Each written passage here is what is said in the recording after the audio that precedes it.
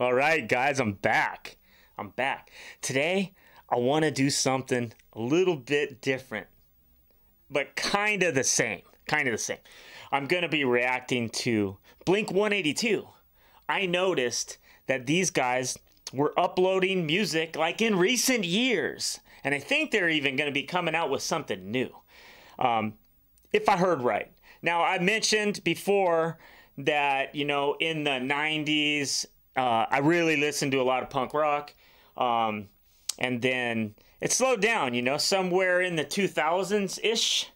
I kind of just kind of lost interest with music. I still listened to music, I listened to the radio, but I wasn't buying anything.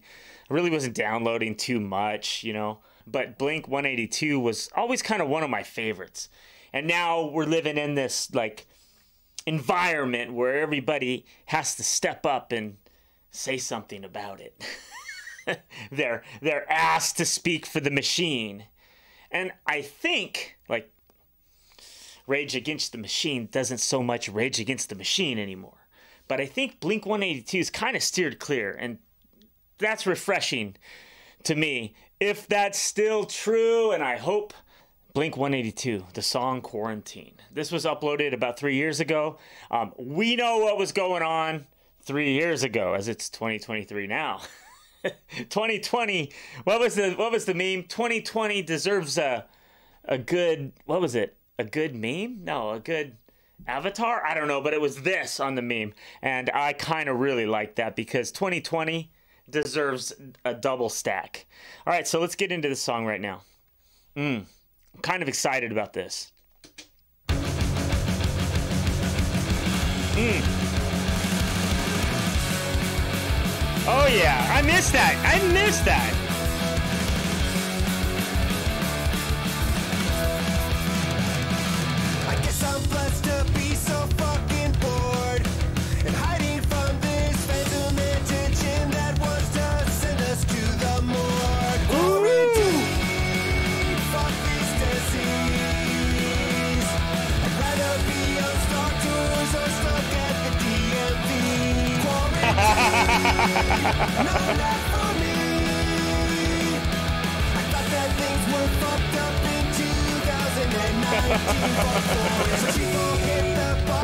Was that political?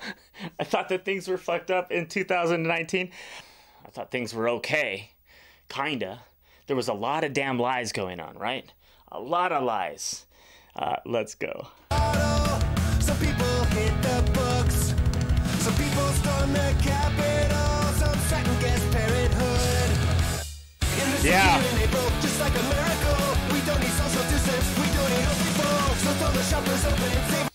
We don't need old people. so, first off, let me say I'm digging this vibe of the video. It's reminding me of the old school punk I grew up with. The sound, the beat, like, damn. I've been asleep and I'm waking up. I, I love this song. I love how this sounds. I'm definitely, I mean, a 50 year old punk rock band because they got to be about 50. I'm 53. I think I heard that Travis Barker was 48. Let me look. Let me check this out. Uh, how old is Travis Barker? Travis Barker is 47 years old. 47, so I'm pretty close. All right, let's get back into this.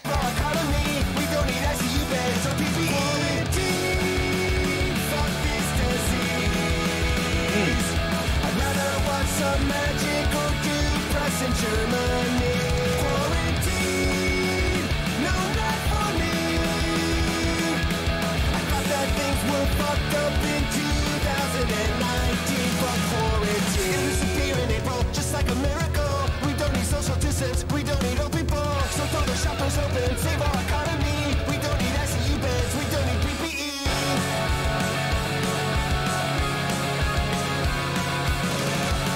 Love the video, man. This video is freaking rad.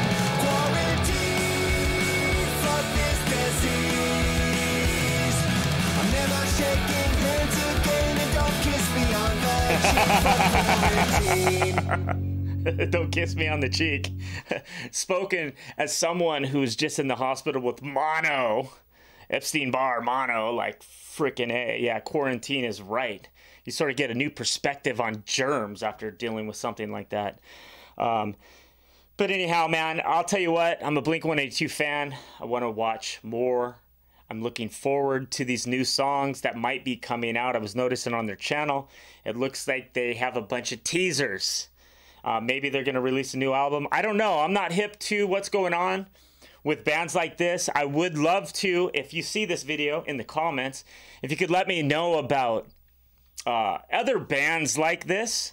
Um, especially if they're not woke, dude. Like I'm just not into that. I'm not. I'm not into that. So, um, any other punk rock bands from back in the '90s or late '80s, 2000s maybe, uh, and they're doing something new today. I mean, I would love to come back and check out some 50 year old punk rockers.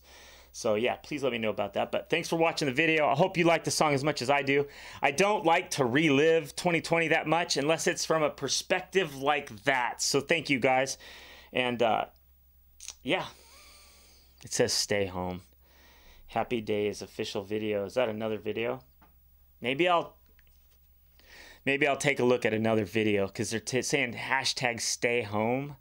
Let's just peel this one back.